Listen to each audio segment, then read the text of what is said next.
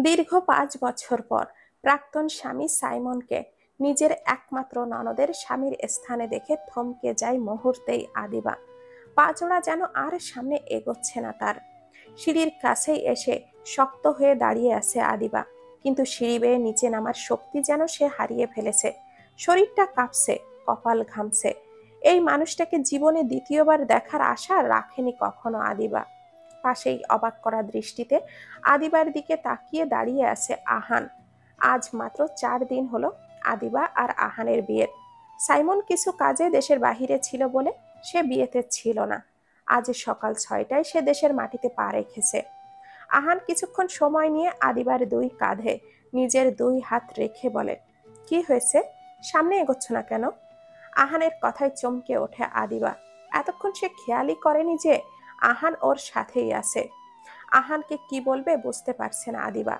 খানিকটা চিন্তা করে কাপা কাপা কণ্ঠে আদিবা বলে, শুনছেন, আমার শরীরটা ভালো লাগছে না। আপনি দেখা করে আসুন ওনার সাথে। আমি একটু রুমে যাচ্ছি। কথাটা বলে আর এক মুহূর্তও দেরি না করে এক প্রকার ছুটতে ছুটতে নিজের রুমে চলে যায় আদিবা। আদিবার এমন কাণ্ডে বিস্মিত হয়ে দাঁড়িয়ে আছে আহান। হঠাৎ কি হয়েছে আদিবার? চিন্তায় পড়ে গেছে আহান। আহান আদিবার পেছনে পেছনে রুমে যাওয়ার জন্য পা বাড়াতেই ওর একমাত্র ছোট বোন সানিয়া ওকে ভাইয়া বলে ডাক দেয়। সানিয়া সিঁড়ি বেয়ে উপরে উঠতে গিয়ে খেয়াল করে আহানকে। আহান আর রুমে যেতে পারল না। নিচে গিয়ে সবার সাথে বসে কথা বলছে সে। কিন্তু মনের কোণে আদিবাকে নিয়ে অদ্ভুত অনুভূতি হচ্ছে ওর। আদিবার হঠাৎ করে এভাবে রুমে ছুটে যাওয়ার কোনো ক্লু খুঁজে পাচ্ছে না আহান। কেমন জানি ঘোলাটে লাগছে ব্যাপারটা ওর কাছে। আদিবা মেয়েটা কেমন জানি অদ্ভুত টাইপের। মনের কথাগুলো কখনো শেয়ার করে না কারোর সাথে। গম্ভীর হয়ে থাকে সব সময়। আদিবার সবটা প্রচুর ভাবাচ্ছে আহানকে। প্রথম স্বামীর প্রতারণার আঘাত থেকে মেয়েটা এখনও বের হতে পারেনি, এটাই ধারণা করে আহান। হুম, আহান সবকিছু জেনে শুনে বিয়ে করেছে। কিন্তু আদিবার প্রাক্তন স্বামীকে সে এখনও চেনে না। ভাবি, কোথায় ভাইয়া? দেখছি না যে ভাবিকে। কোথায় ভাইয়া? সাইমনের কথা কর্ণকুহর হতেই আহান ভাবনার জগৎ থেকে বেরিয়ে আসে। মুখে হালকা হাসির রেখা টেনে সে বলে, তুমি বসো, আমি দেখি তোমাদের ভাবি কি করছে। এটা বলেই আহান নিজের রুমের দিকে পা বাড়ায়। আহানের মা খালেদা খাতুন ছেলের যাওয়ার দিকে দৃষ্টি নিক্ষেপ করে মুখ বাঁকিয়ে বললেন, এই মেয়েকে নিয়ে আদিক্ষেতার শেষ নেই, যেন প্রথমবার বিয়ে করেছে। বউ সেজে সারাক্ষণ ঘরের কোণে বসে থাকা লাগে তার। মায়ের কথায় সানিয়া চুপ থাকতে পারল না আর প্রতিবাদী সুরে সানিয়া গটগট করে বলল, দেখো মা, তুমি মেনে না নিলেও ভাবি এখন এই বাড়ির বউ। আচ্ছা মা, তুমি ভাবিকে যে নজরে দেখছ, সেই নজরে তো সাইমনকে কখনো দেখনি? কারণ কি বলতো আমি যখন বারবার এই বিয়েতে অমত করেছিলাম, তখন তো তুমি আমাকে বারংবার এটা সেটা বুঝিয়েছ। জোর করে আমাকে সাইমনের সাথে বিয়ে দিয়েছ। সাইমনও তো ডিভোর্সি। সাইমনও তো আগে অন্য কারোর সাথে সংসার করেছে। সাইমনের সাথে তো বেশ ভালো তোমার সম্পর্ক। তবে ভাবিকে মেনে নিতে কিসের সমস্যা তোমার? মেয়ের কথা শুনে খালেদা খাতুনের চেহারা যেন শুকনো হয়ে গিয়েছে। সাইমন খুব অপমান বোধ করতেছে নিজের স্ত্রীর মুখে এই সব কথা শুনে। তবুও সাইমন আর খালেদা খাতুন চুপ হয়ে আছে। কারণ এখন সানিয়াকে কিছু বললেই ও আরও বেশি চটে যাবে তাই। সানিয়া খুব জেদি একটা মেয়ে। ওর মা ইমোশনাল ব্ল্যাকমেল করে ওকে এই বিয়েতে রাজি করিয়েছে। তবে এখনও সানিয়া খোটা দেওয়ার বেলায় স্বামী কিংবা মা কাউকেই ছাড় দেয় না। খালেদা খাতুন মেয়েকে কোনো ছেলের সাথে বিয়ে দেননি, বরং টাকাকে বিয়ে দিয়েছেন। টাকা দেখে ভেবেছিল খালেদা খাতুন যে সানিয়া তার মেয়ে সাইমনের সাথে খুব সুখী হবে। কিন্তু উনি এখনও জানতে পারেননি যে তার মেয়ে বিয়ের চার বছর পার হয়ে গেলেও এখনও সংসার করেনি। লোক দেখানো কথাবার্তা সবার সামনে বললেও বন্ধ কক্ষে স্বামীর দিকে দৃষ্টিটুকুও রাখে না সানিয়া। যদিও এতে সাইমনের ভীষণ খারাপ লাগে, সাইমন মাঝে মাঝে খুব করে মিস করে আদিবাকে। সানিয়াকে পাওয়ার লোভেই সাইমন আদিবাকে ছেড়েছিল। এর পেছনে যদিও অন্য আরেকজনের হাত ছিল। সানিয়া আর এক মুহূর্তও সেখানে না দাঁড়িয়ে নিজের রুমের দিকে পা বাড়ায়। আদিবা দরজা বন্ধ করে কাঁদতে থাকে একাধারে।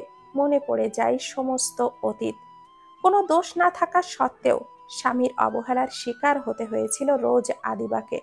আদিবার একটাই দুর্বলতা ছিল, তা হলো সে গরিব বাবার মেয়ে, যার কারণে প্রাক্তন স্বামী বিয়ের ছয় মাস পর থেকেই ওকে অবহেলা শুরু করেছিল।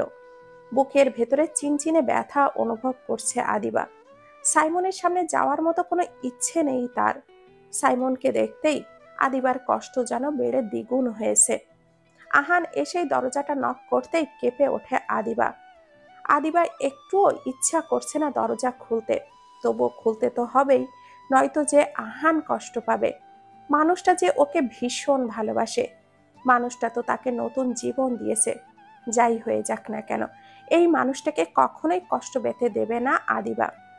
আদিবা চোখের জল মুছে কয়েকটা বড় বড় শ্বাস নিয়ে স্বাভাবিক হয়ে দরজাটা খুলে দেয়। দরজা খুলতেই আহান প্রশ্ন করা শুরু করে আদিবাকে। আদিবা প্রশ্নগুলোকে এড়িয়ে যেয়ে বলে, আসলে সিয়াকে খুব মনে পড়ছে আমার, খুব মিস করতেছি ওকে। আদিবার কথা শুনে কিছুটা স্বস্তির নিঃশ্বাস নেয় আহান। আহান আদিবার পাশে বসে ওর এলোমেলো হয়ে যাওয়া চুলগুলো ঠিক করতে করতে বলে, তুমি অনুমতি দিলে? এখনই সিয়াকে আমি নিয়ে আসব এই বাসায়। তুমি কিন্তু ভালো করেই জানো, সিয়াকে খুব ভালোবাসি আমি। সিয়াকে ছাড়া থাকতে পারব না বলেই তোমাকে আমি বিয়ের প্রস্তাব দিয়েছিলাম, যাতে করে সিয়াকে নিজের কাছে রাখতে পারি। কিন্তু তুমি কেন যে হঠাৎ এমন করছ, সেটাই আমি বুঝতে পারছি না। বাচ্চা মেয়েটা, আমাকে আর তোমাকে না পেলে খুব অস্থির হয়ে পড়বে তো। আদিবা আর কিছুই বলে না। শুধু নীরবে দুফোঁটা চোখের জল ফেলে আর মনে মনে বলে, কীভাবে বোঝাবো আপনাকে? সিয়াকে ছাড়া যে আমারও দম বন্ধ হয়ে আসছে এই মহলে। অনেক কষ্টের ফসল সিয়া আমার। সিয়ার জন্মের পর এই প্রথম ওকে ছাড়া তিনটা দিন, তিনটা রাত পার করলাম আমি। আমার বুকটা যে ছিঁড়ে যাচ্ছে, যন্ত্রণা দিচ্ছে প্রতিনিয়ত। আদিবাকে আনমোনা হয়ে থাকতে দেখে আহান বলে আর কোনো কথা আমি শুনব না তোমার। আমি এখনই গিয়ে নিয়ে আসছি সিয়াকে। এটা বলেই আহান বসা থেকে দাঁড়িয়ে যায়। সাথে সাথেই আদিবা বলে ওঠে, না বলছি তো আমি। এত কেন ঝামেলা করছেন শুধু শুধু? কিছুটা উচ্চ স্বরে বলে ওঠে কথাটা আদিবা। আদিবাকে হঠাৎ এইভাবে মেজাজ দেখাতে দেখে অবাক হয় আহান। কারণ আহান জানে আদিবা কোনো বড় কারণ ছাড়া এইভাবে রেগে মেয়েকে কথা বলে না কখনো। খুব ঠান্ডা মেজাজের মেয়ে। আহান খুব শান্তভাবেই আদিবার দুই বাহুতে আলতোভাবে হাত রেখে বলে, সত্যি করে বলো তো, এই পরিবারের কে কি বলেছে তোমায়? সিয়াকে এই বাড়িতে আনতে কে নিষেধাজ্ঞা জারি করেছে তোমার কাছে? এবার আদিবা খুব চুপচাপ হয়ে গেল, মাথাটা নুয়ে অপরাধীর মতো করে শক্ত হয়ে দাঁড়িয়ে আছে আদিবা। তখনই সানিয়া রুমে প্রবেশ করতে করতে বলে, ভাবিকে জিজ্ঞাসা না করে আমাকে করো কারণ হাজারবার রিকোয়েস্ট করলেও ভাবি তোমায় সেই মানুষটার নাম বলবে না। আহান কপাল ভাঁজ করে তাকায় সানিয়ার দিকে। সানিয়া নিজের রুমে যাওয়ার সময় হঠাৎ ভাইয়া ভাবির কথার শব্দ শুনে দাঁড়িয়েছিল সেখানে। আদিবাররা দরজার কাছেই ছিল বলেই সব কথা ভাইয়ের থেকে স্পষ্ট শোনা যাচ্ছিল। আহানের পেছনে দাঁড়িয়ে থাকা আদিবার চোখ এশারা করে যাচ্ছে। সানিয়াকে যাতে সে আহানকে খালেদা খাতুনের নামটা না বলে। আহান কিছুটা রাগান্বিত কণ্ঠে বলে, শুধু একবার বল, কার কথায় সিয়াকে এই বাড়িতে আনার অনুমতি দিচ্ছে না আদিবা আমাকে? আম্মুর কথায়? সানিয়ার মুখে নিজের মায়ের কথা শুনে মোটেও বিশ্বাস করতে পারছে না আহান, কারণ সে তার মাকে অন্ধের মতো বিশ্বাস করে। হঠাৎ করেই বুকের ভেতর কেমন জানি অদ্ভুত অনুভূতি হচ্ছে আহানের। সানিয়ারা ভাইয়ের সানিয়ার মুখে নিজের মায়ের কথা শুনে মোটেও বিশ্বাস করতে পারছে না আহান, কারণ সে তার মাকে অন্ধের মতো বিশ্বাস করে। হঠাৎ করেই বুকের ভেতরটা কেমন জানি অদ্ভুত অনুভূতি হচ্ছে আহানের। সানিয়া ভাইয়ের অবস্থা বুঝতে পেরে বলে, ভাইয়া, একটা কথা বলি তোমায়। আমার কথায় কিছু মনে করিও না, প্লিজ। মাকে এতটাও বিশ্বাস করিও না, নয়তো আমার মতোই পস্তাতে হবে তোমাকেও। আর ভাবি, তোমায় বলছি মায়ের কথায় এত চলো না। ওনার কথা শুনলে পরে এক সময় দেখবে তোমার সংসারেও আগুন জ্বলছে। শান্তিতে সংসার করতে দিবে না আম্মু তোমাকে। এখনও অনেক কিছু বাকি আছে। সাবধানে থেকো। আর ভাই, তুমি আমার মতো মাকে অন্ধ বিশ্বাস করে নিজের সুন্দর জীবনটাকে নষ্ট হতে দিও না। আমার জীবন তো শেষ করলই ওই লোভী মা নামক মানুষটা। কথাগুলো বলতে বলতেই গলা ধরে আসছে সানিয়ার। তাই সে কথাগুলো বলে আর এক সেকেন্ডও না দাঁড়িয়ে ছুটে চলে গেল নিজের রুমে। বোনের কথাগুলো বারবার বাজতে থাকে আহানের কানে। নিজের কানটাকে যেন বিশ্বাস করতে পারছে না সে। কি বলে গেল সানিয়া এসব? মা কি করে পারে? সন্তানের সুখ শান্তি কেড়ে নিতে? আদৌ কি সম্ভব এইসব করা একটা মায়ের পক্ষে? আহান নিজের রাগটাকে কন্ট্রোল করে, আদিবাকে বলে, বিয়ের পরে তো মেয়েদের বাপের বাড়ি থেকে ঘুরে আসতে হয় শুনেছি। চলো, আজ ঘুরে আসি আমরা। আদিবা মন খারাপ করে দাঁড়িয়ে থাকলে, আহান আবারও বলে, মন খারাপ করার কি আছে? এতে তো বুঝলাম না আমি। আমি জানি মা বাবা ছাড়া আর কেউ নেই তোমার পরিবারে, যে তোমাকে বিয়ের পরের দিনই দেখতে আসবে। এসব তুচ্ছ বিষয় নিয়ে মোটেও মন খারাপ করবে না, আর কখনো বলে দিলাম আমি। যাও, তৈরি হয়ে নাও। আমার কিছু কাজ আছে, সেগুলো সেরেই আমি চলে আসছি। আহান আদিবাকে তৈরি হয়ে নিতে বলল। আর নিজে বেরিয়ে গেল রুম থেকে। হনহনিয়ে মায়ের রুমের দিকে এগোচ্ছে আহান। আহানের বাবা আফজাল খান এই সময় অফিসে আছেন। তাই মায়ের সাথে কথা বলার জন্য এর চেয়ে ভালো সুযোগ বা সময় আর হতে পারে না। রাগে চোখ মুখ লাল হয়ে গিয়েছে। লজ্জা করছে না তোর একটা ফকিন্নির জন্য? নিজের মায়ের সাথে উচ্চস্বরে কথা বলতে? তুই তো এমন ছিলি না? কি জাদু করেছে ওই ডিভোর্সি মেয়ে তোর ওপরে মায়ের কথা শুনে মুচকি হাসলো আহান। তারপর কিছুটা গম্ভীর হয়ে বলল, তবে কঠিন সত্যটা শুনে রেখো আম্মু। সিয়া আমার মেয়ে, সিয়া আমার পরিচয়েই বড় হবে। আর তুমি এই বিষয় নিয়ে আর কখনো কোনো কথা শোনাবে না আদিবাকে। এটা আমি বলে দিলাম। আর হ্যাঁ আরেকটা কঠিন সত্য আছে আমার জীবনের, যা একমাত্র আমি ছাড়া আর কেউ জানে না, আর কখনো জানবেও না। আহান, তুই কিন্তু ভুল করছিস বাবা। আদিবা, মেয়েটা যদি এতটাই ভালো হতো, তবে ওর ডিভোর্স হয়ে যেত না, বিয়ের এক বছর ঘুরতে না ঘুরতেই। তুই ওই মেয়েটাকে ছেড়ে দে বাবা। আমি আমার ভাইয়ের মেয়ে আফিফাকে বিয়ে করাবো তোর সাথে। আফিফা অনেক সুন্দরী আর আমার ভাইয়ের অনেক টাকা পয়সা আছে। তুই সারা জীবন বসে বসে খেতে পারবি। আর সব থেকে বড় কথা হলো, আফিফা তোকে ছোট থেকেই পছন্দ করে। সীমা তুমি এতটা লোভী, আমি ভাবতেও পারিনি কখনো। সানিয়া ঠিক বলেছে, তুমি খুব লোভী একটা মহিলা। তুমি কখনো কারোর ভালো চাও না, শুধু নিজের লোভটা সব সময় তোমার কাছে। শোনো মা, আমি তোমার মতো লোভী না, আমি আমার বাবার মতোই খেটে খাওয়া মানুষ। খালেদা খাতুন একদম চুপ হয়ে গেলেন নিজের ছেলের চোখে, নিজের জন্য এতটা তীক্ষ্ণ ঘৃণা দেখে।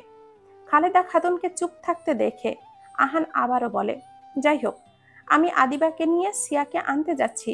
কেউ যেন এই ব্যাপারে আর কোনো কথা না বলে। আমার মেয়ে আমার সাথেই থাকবে। আর হ্যাঁ আজ রাতে ওখানে থেকে যাব। চললাম, আল্লাহ হাফেজ। কথাগুলো বলে নিজের রুমের দিকে পা বাড়ালো আহান। খালেদা খাতুন এক দৃষ্টিতে তাকিয়ে আছেন আহানের যাওয়ার দিকে। হঠাৎ করে খুব কষ্ট হচ্ছে খালেদা খাতুনের। আবার ভীষণ রকমের রাগও হচ্ছে আদিয়াবার উপর। আহান রুমে যেতে যেতে আফজাল খানের সাথে কথা বলে জানিয়ে দিল, সে শ্বশুরবাড়িতে যাচ্ছে। ছেলের সততাই ভীষণ খুশি আফজাল খান। আফজাল খান সবসময় মনে মনে চেয়েছেন তার ছেলে যেন কোনো গরিবের মেয়ে বা অসহায় মেয়েকে বিয়ে করে। আর আহান তার সেই আশাটাই পূরণ করেছে অজান্তেই। আফজাল খান মনে মনে এটা চাইলেও মুখে কখনো উচ্চারণ করেননি আহানের সামনে এই বিষয়ে কোনো কথা। আহান রুমে প্রবেশ করে আদিবাকে উদ্দেশ্য করে বলে, হয়েছে তোমার? খুব নরম সুরে আদিবা বলে, হুম, হয়েছে। এই মিষ্টি কণ্ঠের ছোট্ট শব্দটা আহানকে মুগ্ধ করেন বারংবার, যতই মন খারাপ থাকুক না কেন, আদিবার কাছে আসলেই মনটা ভালো হয়ে যায় আহানের। আদিবা তৈরি হয়ে আয়নার সামনে দাঁড়িয়ে আছে আর খুঁটে খুঁটে দেখছে নিজেকে।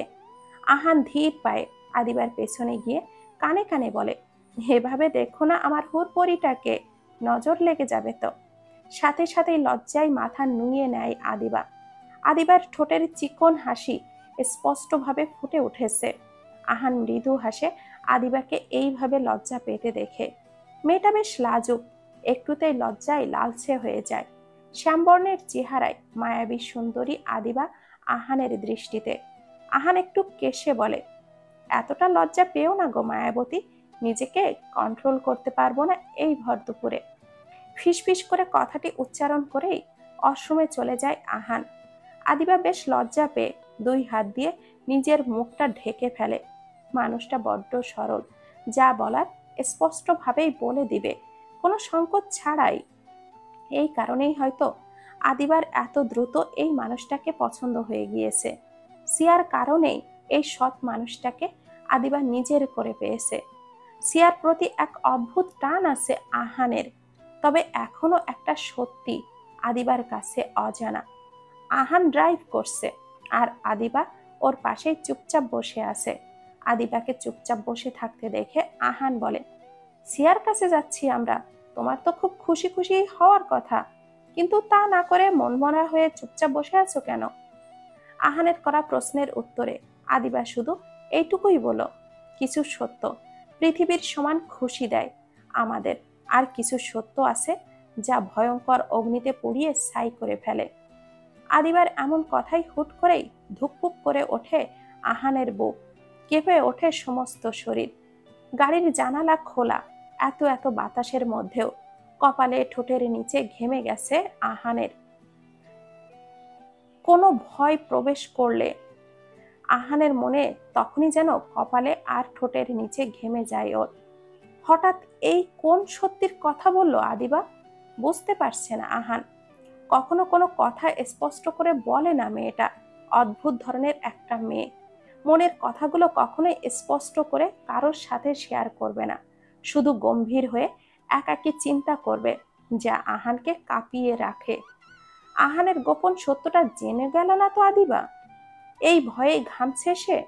আহান ঠাস করে গাড়িটা দাঁড় করিয়ে আদিবার দিকে অসহায় দৃষ্টিতে তাকিয়ে বলে, কিছু কিছু কথা স্পষ্ট বলতে হয়।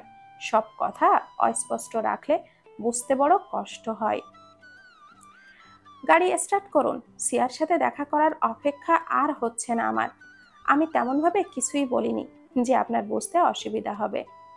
আদিবা কথাটি বলতেই লক্ষ্য করে আহানের মুখ ঘেমে আসে সে দ্রুত হাত থেকে ব্যাগ থেকে টিস্যুটা বের করে ঘামগুলো মুছে দিল খুব যত্ন সহকারে আর মৃদু একটা হাসি দিল। আহান হতাশ হলো। এই মেয়ের পেট থেকে কথা বের করা মোটেও সহজ কাজ নয়। আহান গাড়ি স্টার্ট দিল। আদিবা আহানের দিকে দৃষ্টি নিক্ষেপ করে ভাবতে থাকে, কীভাবে বলব মনের লুকানো কথাগুলো? আপনার মতো একজন মানুষ পেয়েছি, ভাগ্য করে। আপনাকে আর কতই বা জ্বালাবো বলেন তো? আমার তো শুধু নিজের ওপরেই খুব ঘৃণা হচ্ছে। এতদিন পর নিজের মেয়ের সামনে কোন মুখ নিয়ে যাব আমি? সিয়া কি পারবে আমাকে ক্ষমা করতে? আমি যে কিছুতেই সিয়ার মুখোমুখি হতে পারব না। আমি তো আমার মিষ্টি মেয়েটার মা হওয়ারও যোগ্য না। আমি যদি ভালো মা হতাম, তবে কখনোই এইটুকুন একটা বাচ্চা মেয়েকে একা রেখে নিজের সুখ খুঁজতে বেরিয়ে পড়তাম না। আমি খুব খুব খারাপ মা। আমি একজন স্বার্থপর মা। আমি একবারও নিজের মেয়ের কথা ভাবিনি, শুধু নিজের কথাই ভেবে গিয়েছি। বিয়ের দিন বিদায়ের ঠিক আগ মুহূর্তেই শাশুড়িমা বলেছিলেন, যদি সিয়াকে আমি আমার সাথে করে ওই বাড়িতে নিয়ে যাই, তবে উনি আমার মেয়েটাকে আমার থেকে চিরদিনের জন্য আলাদা করে দিবেন। সেই ভয়েই আমি আর ওকে আমার সাথে ওই বাড়িতে নিতে চাইনি। এখন সিয়াকে ওই বাড়িতে নিলে উনি সত্যি সত্যি যদি আমার মেয়েটাকে আমার থেকে দূরে সরিয়ে দেন, তবে কি নিয়ে বাঁচবো আমি? আমি নিঃস্ব হয়ে যাব আমার প্রাণটাকে ছাড়া। সব সত্যি তো আর আপনাকে বলতে পারছি না, সিয়ার বন্ধু। কিছু সত্য খুব তিতা হয়, যা সবাই সহ্য করতে পারে না। আপনিও হয়তো সহ্য করতে পারবেন না নিজের মায়ের এমন আচরণ। গাড়ি থামতেই ভাবনার জগৎ থেকে ফিরে আসে আদিবা। আহানের দিকে তাকিয়ে, সিয়ার বন্ধু, আমরা এত দ্রুত কীভাবে পৌঁছালাম? এই কথাটা বলে ওঠে। সারাটা রাস্তায় ঘুমিয়ে থাকলে সময়ের হিসাব কীভাবে মিলাবেন, সিয়ার আম্মু? ঘড়ি দেখো, বিকাল হয়ে এসেছে। মৃদু হেসে বলে, আহান, আদিবা বেশ এবার লজ্জা পেয়ে যায়। আর লজ্জা পেতে হবে না, নেমে আসুন এবার। গাড়ির দরজাটা খুলে দিয়ে বলে, আহান গাড়ি বাসা থেকে একটু দূরে একটা সাদা মাঠে পার্ক করেছে, তাই আরও কিছুটা হেঁটে যেতে হবে। দরজার সামনে এসে দাঁড়াতেই দুজনের কর্ণকুহর হলো সিয়ার চিৎকার চেঁচামেচি, কাঁদতে কাঁদতে যেন হাঁপিয়ে উঠেছে ছোট্ট প্রাণটা। আদিবাসিয়ার কান্নার শব্দ শুনে আর নিজেকে দমিয়ে রাখতে পারল না। দৌড়ে গিয়ে মেয়েকে জড়িয়ে ধরে আষ্টে পৃষ্ঠে। মা মেয়ে দুজনেই সমান তালে কেঁদে যাচ্ছে। আহান শুধু দাঁড়িয়ে দাঁড়িয়ে দেখছে অদ্ভুত সুন্দর লাগছে দৃশ্যটা। আহানের চোখের কোণেও জল জমাট বেঁধেছে। এতদিন পর মেয়েকে কাছে পেয়ে যেন দেহে প্রাণ ফিরে পেল আদিবা। মেয়ের চোখ মুখ সব মুছে দিয়ে আহানের দিকে আঙ্গুল তুলে আদিবা বলে, দেখো, আমো কাকে নিয়ে এসেছি? তোমার বন্ধুকে নিয়ে এসেছি। সিয়া একবার তাকিয়ে আহানের দিকে আবারও মুখ ফিরিয়ে আদিবার বুকে মুখ গুজে ফেলে। আহান অবাক হয়ে যায় যে মেয়ে ওর জন্য পাগল ছিল। সেই মেয়ে ওর থেকে মুখ ফিরিয়ে নিচ্ছে। মানতে পারছে না সে। আদিবা খুব যত্ন করে সিয়াকে জিজ্ঞাসা করে, কি হয়েছে আমার মামনিটার? বন্ধুকে জড়িয়ে ধরে আদর দিচ্ছ না কেন আজ?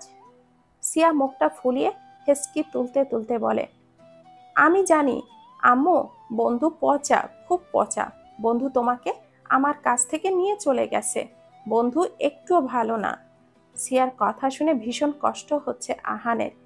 মেয়েটা মাকে ছাড়া খুব ভেঙে পড়েছে বুঝতে পারছে আহান।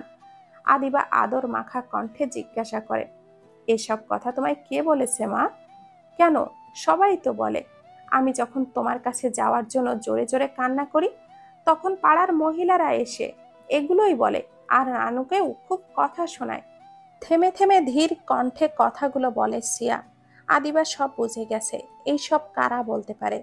তাই সে আর সিয়াকে জেরা করেনি। সমাজে এমন মানুষের অভাব নেই। মানুষকে খোটা দিয়ে কথা না বললে, মানুষকে বিনা কারণে কষ্ট না দিলে তাদের দিন চলে না। বরাবরই এইসব মানুষকে অপছন্দ করে আদিবা এবং দূরত্ব বজায় রাখে এইসব মানুষদের কাছ থেকে। নিস্তব্ধ বিকেলে নির্জন প্রহরে ঘুমিয়ে যায় সিয়া মায়ের বুকে। ঘুমের মধ্যেই মেয়েটা কেমন জানি বড় বড় শ্বাস নিচ্ছে। এর নাম দীর্ঘশ্বাস। মেয়ের এমন অবস্থা দেখে আদিবার বুকটা ছিঁড়ে যাচ্ছে যন্ত্রণায়।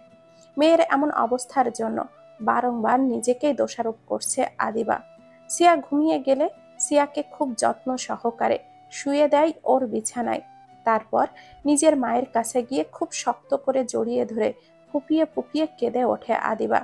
আদিবার মা ফাতেমা বেগমও শব্দ করে কেঁদে ফেলেন। মাকে কাঁদতে দেখে দ্রুত ঢোক গিলে ফেলে আদিবা। তারপরে নিজেকে কন্ট্রোল করে নিজের চোখের জলগুলো মুছে মায়ের দুই গালে আলতো করে হাত ছুঁইয়ে দিয়ে বলে, আমার জন্য অনেক কথা শুনতে হয়েছে না মানুষের কাছে তোমাকে? ক্ষমা করে দাও আমায়, শেষবারের মতো আমাকে। আর কখনো আমার জন্য কারোর কাছে ছোট হতে হবে না, কথা দিলাম তোমাকে আমি। এইটুকু কথা বলেই মায়ের চোখের জল মুছে দেয় যত্ন সহকারে আদিবা। আহান শুধু দেখছে আর সব মুগ্ধ হচ্ছে।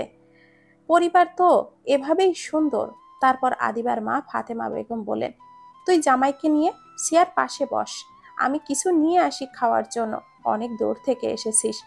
তখন আহান শাশুড়ির যাওয়াই বাধা দিয়ে বলে, কোথাও যেতে হবে না আপনাকে, আন্টি, সব প্রয়োজনীয় জিনিস আমি সাথে করে এনেছি। আদিবা অবাক হয় আহানের কথা শুনে, কারণ ও কিছু নিতে তো দেখেনি আহানকে তবে কখন কীভাবে কিনলো? আহান, এইসব জিনিসপত্র? ফাতেমা বেগম মেয়ে জামাইয়ের দিকে তাকিয়ে ছলো ছলো নয়নে বলে, তোমাকে দেখলে একটা ছেলে সন্তানের যে অভাব ছিল, তা আর লাগে না। অনেক সুখী হও বাবা। আহান আর কিছুই বলল না, শুধু মুচকি হেসে সব এনে শাশুড়ির হাতে তুলে দেয়। ফাতেমা বেগম রান্নাঘরের দিকে এগিয়ে যান, সব খাবার আর জিনিসপত্র নিয়ে। আর আদিবাকে বলে যান, আহানকে নিয়ে ফ্রেশ হয়ে নিতে। ফাতেমা বেগম চলে গেলে আদিবা আহানের সামনাসামনি গিয়ে দাঁড়ায়। আহানের চোখে মুখে বিষণ্নতা স্পষ্ট দেখতে পাচ্ছে আদিবা। আদিবা আহানের হাত দুটো নিজের হাতের মুঠোয় নিয়ে হাতের দিকে দৃষ্টি রেখেই বলে, আমি জানি, আপনি খুব কষ্ট পেয়েছেন সিয়ার কথায়। সিয়া পিচ্ছি একটা মেয়ে, এত কিছু বোঝে না। মানুষের কথায় ভীষণ আঘাত পেয়েছে মেয়েটা। তাই কথাগুলো বলেছে। আর আপনি তো জানেনই, সমাজের কিছু মানুষ এমন আছেন যারা অন্যের ভালো সহ্য করতে পারে না। আপনি হয়তো জানেন না, ডিভোর্স হওয়ার পর থেকে আমার এই বাড়িতে থাকতে অনেক সমস্যা হয়েছে। মানুষের কটু বাক্যে প্রতিনিয়ত খুন হয়েছি আমি, তবুও মেয়ের জন্য বাঁচতে হয়েছে আমাকে। আপনি কোনো চিন্তা করবেন না, আমি কথা দিচ্ছি আপনাকে। আপনাদের বাবা মা মেয়ের সম্পর্ক আগের মতোই সুন্দর হয়ে যাবে ইনশাআল্লাহ, দায়িত্ব নিচ্ছি আমি। আহান সিয়ার দিকে তাকিয়ে বলে সিয়ার অভিমান হয়েছে? যাই হোক আসো, ফ্রেশ হয়ে আসি। অসম কোথায়? আহানের কথা শুনে মাথা নিচু করে ফেলে আদিবা। আহান লক্ষ্য করে, আদিবা কেমন জানি হাত কসলাচ্ছে কি হলো? আসো, ফ্রেশ হতে হবে তো। আদিবা থেমে থেমে বলে, আসলে বাথরুম তো বাহিরে। আপনি এই বাথরুমে মানিয়ে নিতে পারবেন না। আর হাত মুখ ধৌত করতে হলে পুকুরে যেতে হবে। এবার কুটকুট করে হেসে ওঠে আহান। বোকা বনে যায় আদিবা। হাসতে হাসতে আহান বসে পড়ে মোটা পেতে হা হয়ে দাঁড়িয়ে আহানের অদ্ভুত কাণ্ড দেখছে আদিবা। কি হয়েছে? এত হাসছেন কেন আপনি? ভুরু কুচকে বলে আদিবা, হাসবো না তো কি করব? পুকুরে কত সাঁতার কেটেছি বন্ধুদের সাথে একসময়। তুমি জানো? জানো না? কারণ বলা হয়নি কখনো তোমাকে। আর টয়লেট নিয়ে চিন্তা করতে হবে না। তা আমি ম্যানেজ করে নিব কোনোভাবে। চিল থাকো জনাবা, চিল। এটা বলেই আদিবার হাত ধরে বাহিরে নিয়ে আসে আদিবাকে আহান। পুকুর ঘাটে যেতেই কিছু মহিলা এসে আদিবাকে জড়িয়ে ধরে কৌশলে বিনিময় করে। আদিবা বরাবরই চাপা স্বভাবের মেয়ে, তাই সে বেশি কোনো কথা বলল না তাদের সাথে। পুকুর থেকে হাত মুখ ধুয়ে চলে আসার সময় আহানের কর্ণকুহরে কিছু কথা প্রবেশ করে। কিছু মহিলা বলা বলি করছিল, মেয়েটা এমনি লোভী শুধু বড়লোক পরিবারের ছেলেদেরকেই পটিয়ে বিয়ে করে নেয়? আরেকজন বলে, দেখিস তোরা, আগেরবার যেমন বিয়ে এক বছর না হতে অন্তঃসত্ত্বা হয়ে ছুঁড়ে ফেলে দিয়েছিল না? এবারও তেমন হবে। অন্য আরেকজন বলে ওঠে, হুম, সেই দিন আর বেশি দূরে নেই, আবারও দেখবি, আরেকটা বাচ্চা নিয়ে বুড়ো মা বাবার ঘাড়ে এসে বোঝা হবে। কথাগুলো শুনে আহান তাদের দিকে এগিয়ে যেতে নিলেই আদিবা ওকে আটকিয়ে দেয় আর বলে, ছাড়ুন ওদের কথা। অভ্যাস হয়ে গেছে এই কয়েক বছর ধরে। এদের এমন কটুবাক্য শুনতে শুনতে। এখন আর গায়ে মাখি না এদের কথা। তাই বলে কি এইভাবে ছেড়ে দিব এদের? হাত ছাড়ো, কিছু কথা তো বলে আসি আমি ওদের। ঝাঁঝালো কণ্ঠে বলে ওঠে আহান। আদিবা শক্ত গলায় বলে ওঠে, বলতেছি তো, ছাড়ুন তো এসব কথা। এদের সাথে তর্ক করতে গিয়ে নিজের সময় নষ্ট করার কোনো মানেই হয় না। ঘরে চলুন। আদিবা কথাগুলো বলেই আহানের হাত ধরে ঘরে নিয়ে আসে। মাথা খারাপ হয়ে আসে আহানের। নিজেই নিজের দাঁত কিরমির করছে আর লাল চোখে আদিবার দিকে তাকাচ্ছে বারংবার। আদিবার ঢোক গেলে সে বুঝতে পারে আহান রেগে মেগে আগুন হয়ে গেছে। এইসব কথা প্রথমবার শুনলে শরীরে এমনই রাগ চড়ে বসবে, স্বাভাবিক। কিন্তু আদিবার যে অভ্যাস হয়ে গেছে এই সব শুনতে শুনতে আদিবার চট করে গিয়ে একটা তোয়ালে এনে এগিয়ে দেয় আহানের দিকে। আহান তোয়ালেটা না নিয়ে পকেট থেকে টিস্যু বের করে মুছে নেয় মুখমণ্ডল। আদিবা মন খারাপ করে নিজেই নিজের মুখ মুছে নেয় তোয়ালেটা দিয়ে। আহান বসে বসে ফোন ঘাটাঘাটি করছে। মেজাজ আরও বেশি বিগড়ে যাচ্ছে আহানের কারণে। কারণ গ্রামে নেটওয়ার্ক সমস্যা অনেক, যা ওর কাছে বিরক্তিকর মনে হচ্ছে এই মুহূর্তে। আদিবা আহানের সামনে গিয়ে দাঁড়াল। আর চোখটা বড় বড় করে আদিবার দিকে দৃষ্টি নিক্ষেপ করে আহান। আদিবা আমতা আমতা করে বলে, না মানে জানতে চেয়েছিলাম, আপনি তো গাড়ি কোথাও থামাননি, তাহলে এতগুলো নাস্তা, জিনিসপত্র কিনেছেন কখন? ঘুমিয়ে থাকলে সারা রাস্তায় দেখবে কীভাবে কেউ? শক্ত গলায় বলে ওঠে আহান। আদিবা আর কিছুই বলল না। আহানের মাথা ঠান্ডা হওয়া অবধি আর কোনো কথা বলা যাবে না, বুঝতে পারছে আদিবা। ফাতেমা বেগম এসে বললেন আদিবা মা, খেতে হাই জামাইকে নিয়ে। আদিবা আহানের দিকে এক নজর তাকালো। আদিবা ডাকার আগেই আহান নিজে নিজেই শাশুড়ির সাথে খেতে চলে গেল। খেতে এসে আরেক ঝামেলা, নিচে পিড়িতে বসে খেতে হবে, যা আহান পারবে না, কারণ অভ্যাস নেই। শাশুড়িকে সেই কথা বললে আহান উনি, আহানকে উনি একটা মাদুর এনে বিছিয়ে দেন, সেখানেও বসতে পারছে না কোনো মতে আহান। প্যান্ট পরিধান করে নিচে বসা খুব কষ্টসাধ্য। তার উপরে আহানের অভ্যাসও নেই তেমন একটা। আদিবা এতক্ষণ এক কোনায় দাঁড়িয়ে দাঁড়িয়ে সব কিছু দেখছিল চুপচাপ। ফাতেমা বেগম আদিবাকে ডেকে বলে, জামাই তো বসতে পারছে না, এখানে নিচে। তুই একটা ব্যবস্থা কর তো মা। আহান আদিবার দিকে আর চোখে তাকায়। আদিবা তা লক্ষ্য করলেও কোনো রিয়াক্ট না করে ওর রুমে গিয়ে দুইটা মোড়া এনে দেয়। একটা বড় আর একটা একটু ছোট মোড়া। ছোট মোড়াটায় বসতে নিয়ে বড় মোড়াটায় প্লেট রাখতে দিয়েছে। নিচে থেকে সব খাবার প্লেটে সাজিয়ে দিয়েছে। আহান কোনো কথা না বাড়িয়ে খেতে শুরু করে দেয়। আদিবাও মৃদু হেসে খাওয়া শুরু করে। খাবার খাওয়ার মাঝখানে আদিবা ওর মাকে জিজ্ঞাসা করে, বাবা, কখন ফিরবে মা? এই তো, আর কিছুক্ষণ পরেই ফিরবেন মা। তুই খেয়ে নে। তোর বাবা দুপুরে খেয়েই বেরিয়েছেন। সন্ধ্যায় সিয়া ঘুম থেকে জেগে দেখে ওর এক পাশে আদিবা আর অন্য পাশে আহান ঘুমিয়ে আছে।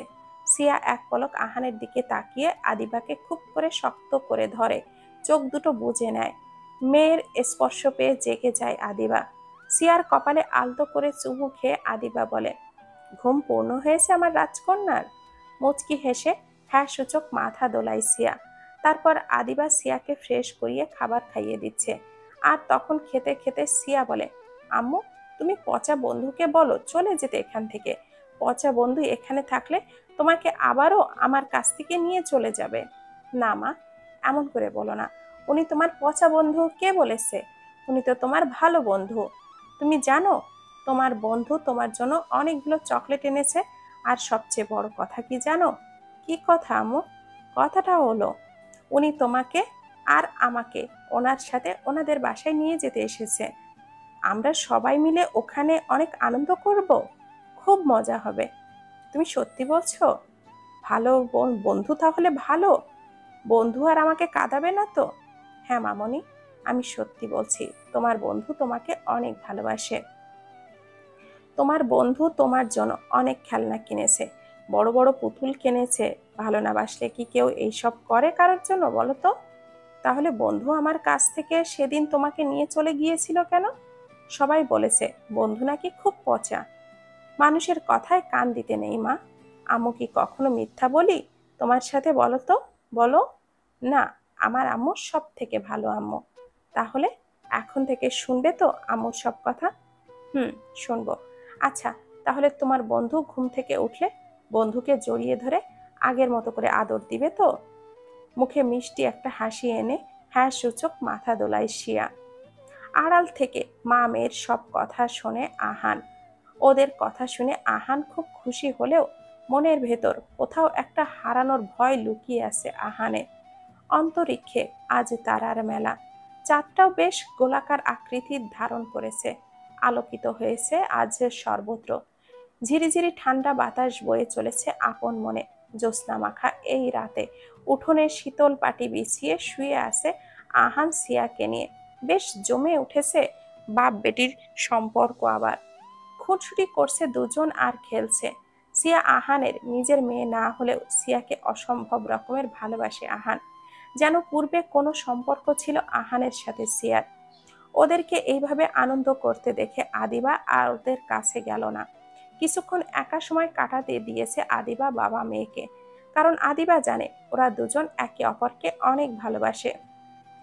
জন্ম থেকে নিজের বাবাকে পায়নি সিয়া। তাই আহানকে বাবা রূপে পাওয়ার পর থেকেই সিয়া ভীষণ দুর্বল হয়ে পড়েছে আহানের প্রতি। সিয়ার জন্যই আজ আহান আর আদিবা পবিত্র বন্ধনে আবদ্ধ হতে পেরেছে। আদিবা এক নজরে তাকিয়ে আছে আহান আর সিয়ার দিকে। আড়াল থেকে বাবা মেয়ের ভালোবাসা দেখে নিজের মনটাকে সান্ত্বনা দিচ্ছে এই বলে যে, বিধাতা যা করেন ভালোর জন্যই করেন। সাইমন যদি আমার জীবন থেকে চলে না যেত, তাহলে এই মানুষটাকে পাওয়া হতো না আমার। হাজার শুক্রিয়া আল্লাহর কাছে। মাঝরাতে ঘুম ভেঙে যায় আদিবার। তখন সে অনেক চেষ্টা করে আবারও ঘুমানোর। কিন্তু কিছুতেই ঘুম আসছে না। মনটা হঠাৎ কেমন যেন ছটফট করছে আদিবার। জানি না, আগামীকাল সিয়াকে নিয়ে খান বাড়িতে গেলে কি হবে? আল্লাহ গো, আমার মেয়েটাকে কেড়ে নিও না আমার কাছ থেকে। সিয়া আমার বেঁচে থাকার শেষ সম্বল। নিজে নিজেই এইসব কথা বলছে বিড় করে আদিবা। চোখের জলটাও জমাট বেঁধেছে। অনুমতি পেতেই বুঝি গড়িয়ে পড়বে জলগুলো কান্না হয়ে। কপাল ভাজ হয়ে গেছে চিন্তায় আদিবার। শুয়ে থাকতে আর ভালো লাগছে না। তাই উঠে বসে আছে। মোবাইলে হাত নিয়ে দেখে মাত্র একটা চুয়াল্লিশ বাজে। বুকটা কাঁপছে আদিবার। খালেদা খাতুনের বলা কথাগুলো যেন বারংবার কানে বাজছে ওর। পুরো রুম জুড়ে পাইচারি করছে ও। আমি যা করেছি, নিজের স্বার্থে করলেও তোমাদেরকে বড্ড ভালোবেসে ফেলেছি। প্লিজ, ছেড়ে যেও না আমায় তোমরা। তোমাদেরকে ছাড়া আমি যে নিঃস্ব হয়ে যাব। আহান ঘুমের মধ্যেই বিড়বিড় করে এইসব বলছে। লক্ষ্য করেছে আদিবা, কিন্তু কথাগুলো খুব আস্তে গুনগুন করে বলায়, আদিবা বুঝতে পারেনি কিছুই। আদিবা এসে আবারও শুয়ে যায় নিজের জায়গায় এসে। সকালে নামাজ পড়ে খাওয়া দাওয়া করেই খানবাড়ির উদ্দেশ্যে রওনা দেয় ওরা।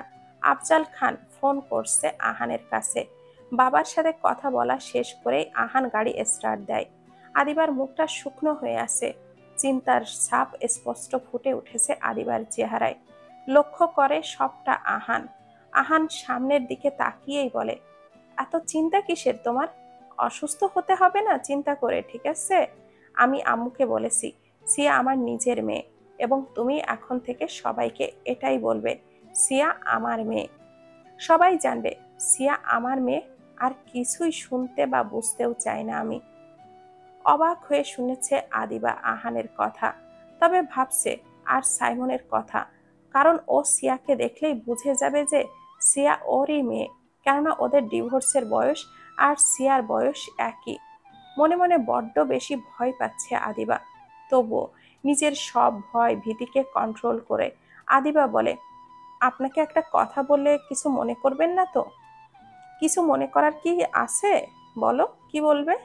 আসলে আমি তো খান বাড়িতে নতুন, কিছু জানি না এখনও ওই বাড়ির সম্পর্কে। সানিয়া আপুর ব্যবহার খুব ভালো লেগেছে আমার। মেয়েটা বড্ড নিষ্পাপ, কিন্তু আমার মাথায় একটা বিষয় আসছে না। কি বিষয়? সানিয়া আপুর বিয়ের চার বছর হয়ে গেলেও উনি শ্বশুরবাড়িতে যান না কেন? এই প্রশ্নের উত্তর আমি নিজেও জানি না। ওর বিয়ের ছয় মাস আগেই ওর শ্বশুর শাশুড়ি মারা যায় একটা দুর্ঘটনায়। ওর শাশুড়ি ছিল আম্মুর বান্ধবী।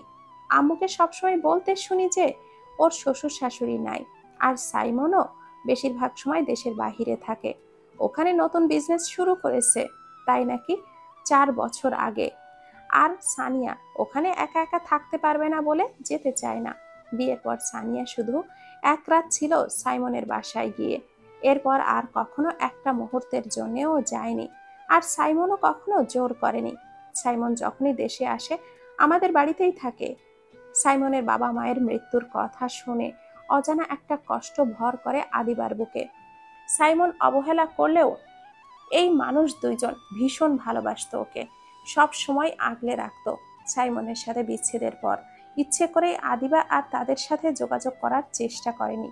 কারণ ওনাদের সাথে কন্ট্যাক্ট থাকলে সাইমনের মায়া কাটাতে পারত না আদিবা কিছুতেই। নিজের অজান্তেই চোখের কোণ বেয়ে জল গড়িয়ে পড়ে আদিবার। আহান ড্রাইভ করছে সামনে তাকিয়ে, তাই লক্ষ্য করতে পারেনি। চোখের জল মুছে একটা লম্বা শ্বাস নিয়ে আদিবা বলে, তাহলে সানিয়া আপু, স্বামীর সাথে বিদেশে গিয়ে থাকে না কেন? আমার তো মনে হচ্ছে কোনো কারণ আছে এর পেছনে।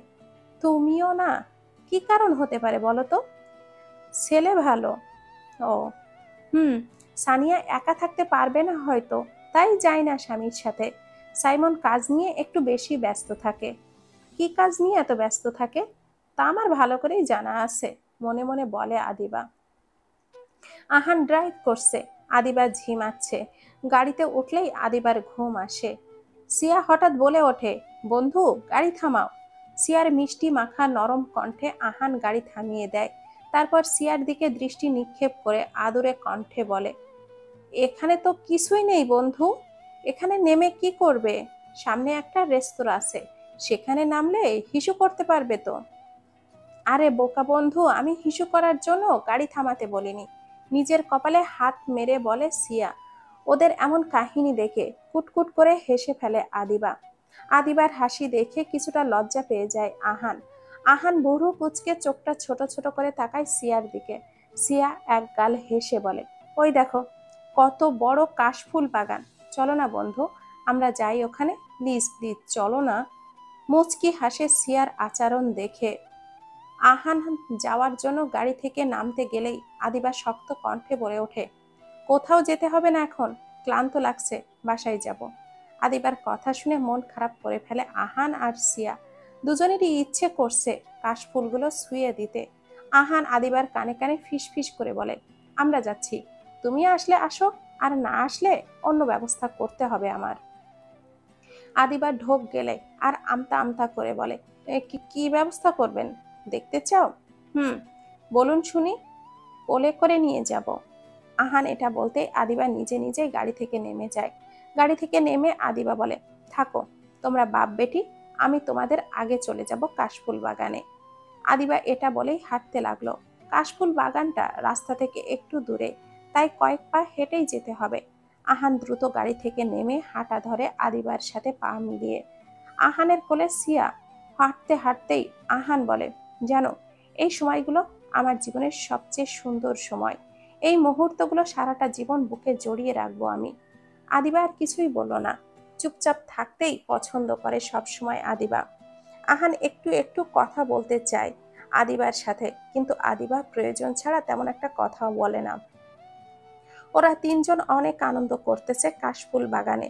সিয়া বিভিন্ন ভঙ্গিমা করছে আর সেগুলো ক্যামেরাবন্দি করছে আহান। সময়টা ধরে রাখার অসম্ভব হলেও স্মৃতিগুলো সহজেই বন্দি করা যায়। বাসায় পৌঁছাতে পৌঁছাতেই দুপুর হয়ে আসে ওদের। পথে রেস্তোরাঁয় দুপুরের খাওয়া সেরে এসেছে। তাই এসেই ফ্রেশ হয়ে নামাজ পড়ে বিছানায় গা এলিয়ে দেয় আদিবা। সিয়া আদিবার সাথে ঘুমালেও ওর আগে ঘুম থেকে উঠে যায়। সিয়া ঘুম থেকে উঠে দেখে, আদিবা ঘুমিয়ে আছে। পুরো রুম খুঁজেও আহানকে না পেয়ে রুম থেকে বেরিয়ে আসে সিয়া। ছোট ছোট পা ফেলে সামনে এগিয়ে যাচ্ছে সিয়া। সাইমন অফিস থেকে ফিরেছে। নিজের রুমের দিকে এগোতেই সিয়াকে দেখে দাঁড়িয়ে যায় সাইমন। সিয়া গোল গোল চোখ করে তাকিয়ে আছে সাইমনের দিকে। মুখে মিষ্টি হাসি লেগেই আছে ছোট্ট পরিটার। সাইমন দুই পা সামনে এগিয়ে সিয়াকে বলে, এত চেনা চেনা কেন লাগছে তোমায় ছোট্ট পরি? কে তুমি? মামনি আমাকে না বলে, তুমি এই রুম থেকে বাহিরে যাবে না কখনো। আর ওই আঙ্কেলটার কাছে একদমই যাবে না, বুঝেছ? মুখে হালকা হাসি রেখা টেনে সিয়া হ্যাঁ সূচক মাথা নাড়ায়। তখন আদিবা ওদেরকে সামনাসামনি দেখে দ্রুত সাইমনের সামনে থেকে নিয়ে আসে সিয়াকে। ঘুম থেকে জেগে সিয়াকে পাশে না পেয়ে অস্থির হয়ে রুম থেকে বেরিয়ে যায় আদিবা। ওকে খুঁজতে আর দরজার সামনে আসতেই দেখে সাইমন আর সিয়া মুখোমুখি। আদিবা সিয়াকে এভাবে নিয়ে আসার পর সাইমন ওখানেই দাঁড়িয়ে থ হয়ে আসে। পাঁচ বছর পর নিজের প্রাক্তন স্ত্রীকে এইভাবে চোখের সামনে দেখবে কল্পনার বাহিরে ছিল সাইমনের। আরও বেশি অবাক হলো সাইমন। আদিবাকে আহানের রুমে যেতে দেখে। সাইমন বুঝে গেছে যে আহানের স্ত্রী আর কেউ নয়, বরং আদিবা। নিজের চোখকে যেন বিশ্বাসই করতে পারছে না সাইমন। মেয়েটাকে অদ্ভুত সুন্দর লাগছে। পাঁচটা বছরে একদম অন্যরকম হয়ে গেছে মেয়েটা। সৌন্দর্য যেন বেড়ে গেছে দ্বিগুণ, ভাবছে সাইমন। প্রাক্তনকে সবসময় একটু বেশি সুন্দর লাগে আমাদের চোখে। যদিও আদিবা আহামরি কোনো সুন্দরী নয়, গল্পের নায়িকা কিংবা সিনেমার নায়িকার মতো। তবুও উজ্জ্বল শ্যামবর্ণ মেয়েটার মাঝে চোখ আটকে যায় সকলের। সাইমন নিজের রুমে না গিয়ে চলে যায় খালেদা খাতুনের রুমে। খালেদা খাতুনের রুমে গিয়ে কিছুক্ষণ চুপচাপ বসে থেকে বলে, মা, আপনি বলেননি কেন আমায় সত্যিটা? বলার প্রয়োজন মনে করেনি তাই? বলিনি। বেশ, মানলাম। প্রয়োজনটা মনে করেননি। কিন্তু আপনি কি জানেন, একটু আগে সামনাসামনি দেখা হয়েছে আমাদের? এতে জানার কি আছে? এক ঘরে থাকলে দেখা হবে, এটাই তো স্বাভাবিক। কিছুই স্বাভাবিক না। আপনি বুঝতে পারছেন না বিষয়টা। হালকা কেশে খালেদা খাতুন বলেন এতে বোঝাবুঝির কিছুই নেই, ভয় পেও না। আদিবা কিছুই বলবে না আহানকে। আদিবা যাতে আহানকে কিছু বলতে না পারে, সেই দায়িত্ব আমার। তবু আম্মু, আমার ভালো লাগছে না। এমনিতেই বিয়ের চার বছর হয়ে গেলেও সানিয়া এখনও আমাকে মেনে নিতে পারেনি। মেনে নিক বা না নিক, সংসার তো করছে, তোমার সাথেই তো থাকছে। আর বিয়ের চার বছর হয়ে গেছে এসব জানলেও সানিয়া এখন কিছুই করতে পারবে না। ও এখন বাধ্য হবে তোমার সাথে সংসার করতে। শুধু একটা কাজ করতে হবে তোমার। কি কাজ? আমাকে নানি বানাতে হবে। একটা বাচ্চা হয়ে গেলে সানিয়া আর চাইলেও ছাড়তে পারবে না তোমায়। আমি সানিয়াকে ভুল কোনো সিদ্ধান্ত নিতে দিব না কখনোই। খালেদা খাতুনের কথা শুনে মন খারাপ করে ফেলে সাইমন। কীভাবে বলবে শাশুড়িকে? সানিয়ার সাথে যে তার তেমন কোনো সম্পর্কই তৈরি হয়নি এখনও। আর সানিয়া তার মাকে এই কথা বলতেই নিষেধাজ্ঞা জারি করেছে। সানিয়া বলেছে, সাইমনকে তাদের মধ্যে যে স্বামী স্ত্রীর কোনো সম্পর্ক নাই, এটা যদি সে খালেদা খাতুনকে বলে দেয়, তবে সানিয়া মুহূর্তে ডিভোর্স দিয়ে দিবে ওকে। এই ভয়ে সাইমন কিছুই বলে না খালেদা খাতুনকে। বাবা মারা যাওয়ার পর খালেদা খাতুন ছাড়া আর কেউ নেই সাইমনের। তাই সে ওনাকে হারাতে চান না। সানিয়া সিয়াকে কোলে নিয়ে খেলা করছে। অল্প সময়েই মিশে গিয়েছে সিয়া সানিয়ার সাথে। সন্ধ্যার পর আহান বাসায় ফিরে এসে দেখে, ড্রয়িং রুমে বসে সানিয়ার সাথে খেলছে সিয়া। আহান বেশ খুশি হয়, কারণ অনেক দিন পর সানিয়ার মুখে হাসি দেখছে সে। আদিবা রান্নাঘরে সিয়া আর সানিয়ার জন্য পাস্তা বানাচ্ছিল। আহান ডাক দিতে ছুটে আসে আদিবা। আদিবা আসতেই আহান আদিবার হাত ধরিয়ে, হাতে ধরিয়ে দেয় আইসক্রিম চকলেট চিপস আরও কিছু খাবার। তখন আদিবা বলে, বাচ্চাদের বাহিরের খাবার এত বেশি খাওয়ানো ঠিক নয়। বেশি না হলে কম খাওয়াবে, সমস্যা কি? আপনার সাথে কথা বলাই আমার বেকার। এটা বলেই আদিবা রান্নাঘরে গিয়ে পাস্তা নিয়ে আসে ওদের জন্য। আহান রুমে যায় ফ্রেশ হতে। সানিয়া আদিবাকে বলে, ভাবি, তুমি রুমে যাও। ভাইয়ার কিছু লাগবে কিনা দেখে আসো। সিয়া মামনিকে আমি খাইয়ে দিচ্ছি। আদিবা যেতে না চাইলেও জোর করে পাঠিয়ে দেয় আদিবাকে সানিয়া। আদিবা সিঁড়ি বেয়ে উঠে রুমের দিকে যেতেই মাঝখানে সাইমনের সাথে দেখা হয়ে যায় আবার। আদিবা সাইমনকে দেখে এড়িয়ে চলে যেতে নিলেও ও বলে ওঠে, খুব সুন্দর হয়ে গেছে আগের থেকে। কথাটা কর্ণকুহর হতেই থেমে যায় আদিবার পা জোড়া। তার তাচ্ছিলের হাসি দিয়ে আদিবা বলে, তাতে কি? আমি গরিবের ঘরের মেয়ে ফকিন্নি আমি। ভুরু কুচকে সাইমন বলে, তোমার সাথে ঝগড়া করার মতো সময় আমার নেই। আর আপনার দিকে তাকানোর সময়ও আমার নেই। আমার স্বামী আর মেয়েকে নিয়ে প্রচুর ব্যস্ত আমি। তুমি থেকে আপনি হয়ে গেলাম? যাক, বাদ দাও সেটা। তুমি না বললেও আমি কিন্তু জানি, সিয়া আমার মেয়ে। যেদিন তোমার হাতে ডিভোর্স পেপার দিয়ে চলে যাচ্ছিলাম, সেদিন তোমার মা বলেছিল, মেয়ে সন্তান জন্ম দিয়েছ তুমি। আর একটু আগে সিয়াকে তুমি আমার সামনে থেকে এভাবে নিয়ে গেছো, তাতেও কিছুটা সন্দেহ হয়েছে যে ওর সাথে হয়তো আমার কোনো সম্পর্ক আছে। সব শেষে আরেকটা কথা, আমাদের বিচ্ছেদের পাঁচ বছর, আর সিয়ারও আনুমানিক পাঁচ বছরই হবে। তাই তুমি না বললেও আমি বুঝেছি সিয়া আমারই মেয়ে।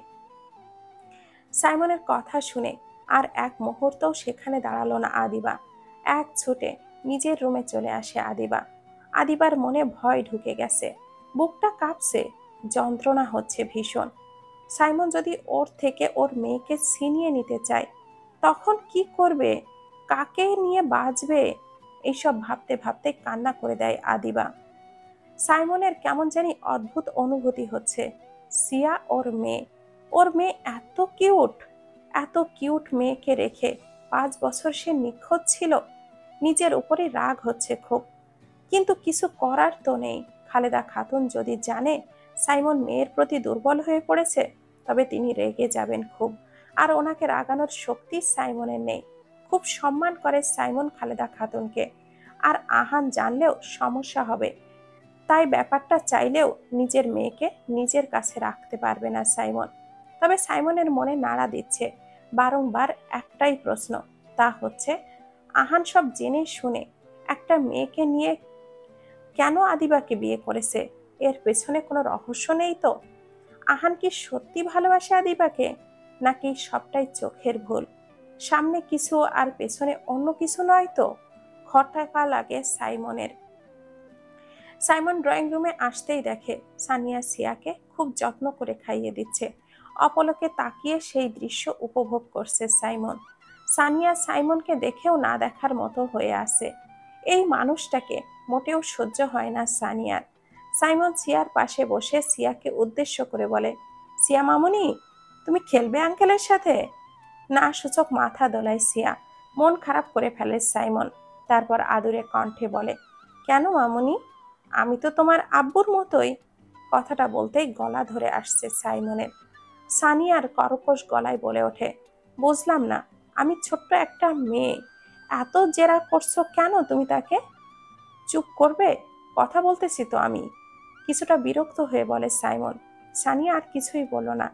সাইমন আবারও বলে, বলো মামুনি, কেন খেলবেন আমার সাথে? কারণ আম্মু বলেছে তোমার কাছে না যেতে। নরম কণ্ঠে বলে ওঠে সিয়া। এটা শোনা মাত্রই রাগ উঠে যায় সাইমনের। সে হন হনিয়ে রাগে ফুসতে ফুসতে বাহিরের দিকে চলে যায় সদর দরজা দিয়ে। সানিয়া অবাক নয়নে দেখছে সব শুধু হঠাৎ কি হয়ে গেল? সাইমনের বুঝতে অসুবিধা হচ্ছে সানিয়ার। আর আদিবাই বা কেন সাইমনের কাছে যেতে নিষেধাজ্ঞা জারি করেছে? এই পিচ্ছি মেয়েটাকে কি চলছে ঘরে এসব? গতকালও সাইমনের সাথে দেখা করার জন্য নিচে নামেনি আদিবা। চোখ কি ধোকা দিচ্ছে তাহলে? আহান অসম থেকে বেরিয়ে দেখে। আনমনা হয়ে আয়নার সামনে দাঁড়িয়ে আছে আদিবা। আদিবাকে দেখে আহান ওর দিকে এগিয়ে যায়। আদিবা যেন অন্য এক দুনিয়ায় হারিয়ে ফেলেছে নিজেকে। আহান যে তার এতটা কাছে, তা সে লক্ষ্যই করতে পারেনি। আহান আদিবার কানের কাছে গিয়ে এহেম এহেম করে দুইবার কাশি দেয়। তবুও আদিবা আনমনা হয়ে আয়নার দিকেই তাকিয়ে আছে। বুকটা ভীষণ ভার হয়ে আছে আদিবার। আহান এবার ফু দেয় আদিবার চোখে মুখে। হুশ ফেরে আদিবার। আদিবা কিছুটা নড়ে চড়ে দাঁড়িয়ে ড্রেসিং টেবিল গোছাতে লেগে যায়। আহান বলে, কি হয়েছে? মনমরা হয়ে আছো কেন আবার? কই, না তো, ঠিক আছি আমি। বোকা বানানোর চেষ্টা করিও না, সব বুঝি আমি। বলো, কি হয়েছে? ভয় হচ্ছে। আবারও ভয় পাচ্ছ তুমি? বলছি তো, আমি থাকতে সিয়াকে, তোমার থেকে কেউ আলাদা করতে পারবে না। আর এই দায়িত্ব শুধুমাত্র আমার। আর যদি সিয়ার বাবা নিতে আসে ওকে, তখন কি করবেন? হঠাৎ এমন কথা শুনে চমকে ওঠে আহান। চোখটা বড় বড় করে তাকায় আদিবার দিকে। পাঁচ বছর যেহেতু আসেনি মানুষটা নিজের সন্তানকে দেখতে, তবে পাঁচ বছর পর আর নিতেও আসবে না। অযথা আর চিন্তা করতো না তো? আদিবা আর কিছুই বলল না আহানকে, তবে মনে মনে ভীষণ ভেঙে পড়েছে সে। আহান যখনই আরেকটু কাছে যাচ্ছিল, আদিবা তখনই দরজায় কেউ নক করে, আর আহানের মুখটা ফ্যাকাশে করে ফেলে। আর আদিবা গিয়ে দরজাটা খুলতেই দেখে দরজার সামনে দাঁড়িয়ে আছে। অন্তরিক্ষে জমে আছে মেঘ। এই থমকে থাকা মেঘ সবার মনে দোলা দিতে না পারলেও আহানের বেশ প্রিয় এই মেঘমালা। আহান যতই কাজে বিজি থাকুক না কেন, সে এই মুহূর্তটা কখনোই মিস করে না। সবসময় থমকে থাকা মেঘে নিজেকে বিলিয়ে দিতে ভালো লাগে আহানের। কিন্তু আজকে আকাশে থমকে থাকা মেঘ থাকলেও তা স্পষ্ট দেখা যাচ্ছে না রাতের আধারে। যার কারণে মন খারাপ করে বসে আছে বেলকুনিতে আহান। আদিবা সিয়াকে নিয়েই প্রবেশ করতেই আহান তাকায় ওদের দিকে। সিয়া আদিবার কোল থেকে লাভ দিয়ে আহানের কোলে চলে যায়। আদিবারের চেহারায় ফুটে উঠেছে এক রাস ক্লান্তি। জীবনের সাথে যুদ্ধ করতে আর পারছে না মেয়েটা। তখন খালেদা খাতুন এসে দরজায় নক করেছিল। আদিবা দরজাটা খুলতেই হাসি মুখে খালেদা খাতুন বলেন, মা একটু আমার রুমে এসো তো, কথা আছে কিছু। খালেদা খাতুনের এই কথাটা বুকটা কাঁপিয়ে দিয়েছিল আদিবার। খালেদা খাতুন কথাটা বলে চলে যাওয়ার পর আহান আদিবাকে বারণ করে দেয় না যাওয়ার জন্য। তবুও আদিবা গিয়েছিল, কারণ আদিবার অজানা ছিল, তার শাশুড়ি তাকে কি কথা বলবে সেটা।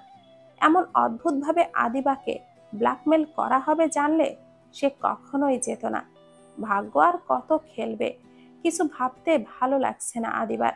আহান বুঝে গিয়েছে যে তার মা হয়তো এমন কিছু বলেছে আদিবাকে যা সে মেনে নিতে পারছে না। যখনই আহানকে সব সত্যি বলে দিবে, ভেবেছিল, তখনই আদিবার শাশুড়ি আগমন ঘটেছিল। তারপর বিভিন্ন রকমের কথা তাকে শোনানো হলো। ক্লান্ত হয়ে গিয়েছে আদিবাই এবার।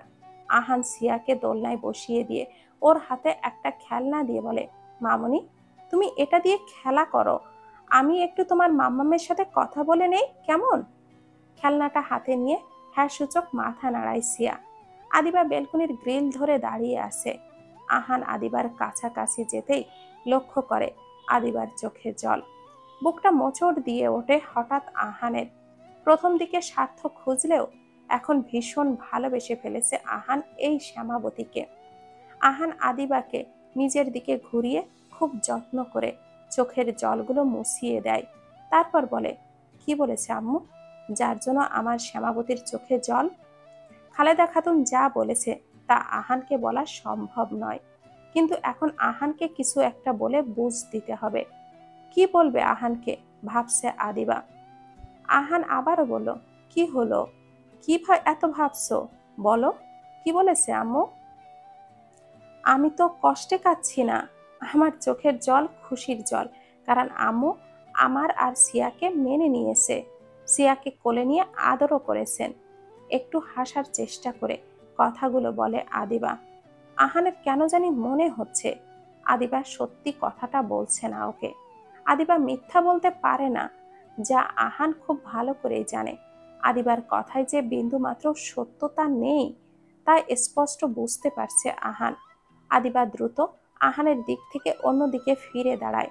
আহান কিছু বলতে যাবে, তখনই আদিবা বলে ওঠে, আপনি সিয়াকে নিয়ে ডাইনিংয়ে যান, সবাই হয়তো অপেক্ষা করছে, আমি একটু অশ্রমে যাব। এটা বলেই আদিবা চলে যাই অশ্রমে। আহানের রাগ হচ্ছে খুব, চাপা স্বভাবের মানুষ ভালো, কিন্তু এতটাও চাপা স্বভাব ভালো না। নিজের নিজের সব কষ্ট একাই সহ্য করে নিবে, তবুও কারের সাথে টুকরো করে শেয়ারও করবে না। এমন কোনো মেয়েটা ধ্যাত ভালো লাগে না। নিজেই নিজেই বিড়বিড় করে আহান। সিয়ার দোলনা থেকে নেমে আহানের সামনে এসে দাঁড়িয়ে দুই হাত ওপরের দিকে তুলে বলে, কোলে নিতে ওকে। আহান সিয়াকে কোলে তুলে নিয়ে রুম থেকে বেরিয়ে আসে। উদ্দেশ্য, ডাইনিংয়ে যাবে খেতে। যেতে যেতে সিয়া বলে, বন্ধু, তুমি আম্মুকে বকা দিছো কেন? সিয়ার মুখে এমন কথা শুনে ভেবাচাকা খেয়ে গেল আহান। মাঝে মাঝে সিয়া এমন কথা বলে যে আহান তার উত্তরই খুঁজে পায় না। কিন্তু সিয়ার এই পাকনামের কথা বেশ ভালোই লাগে আহানের কাছে। আহান সিয়াকে কিছু না বলে সিয়ার কপালে একটা চুমু খেয়ে সিঁড়ি বেয়ে নিচে নামতে থাকে। আদিবা ওয়াশরুমে গিয়ে নিচে বসে পড়ে দুই হাঁটু বুকের কাছে নিয়ে। আজ কষ্টটা একটু বেশি হচ্ছে তার। মনে হচ্ছে যেন দমটা বন্ধ হয়ে আসছে। নিঃশ্বাস নিতে বড্ড বেশি কষ্ট হচ্ছে। চোখের জলগুলো মানছে না কোনো বাধা।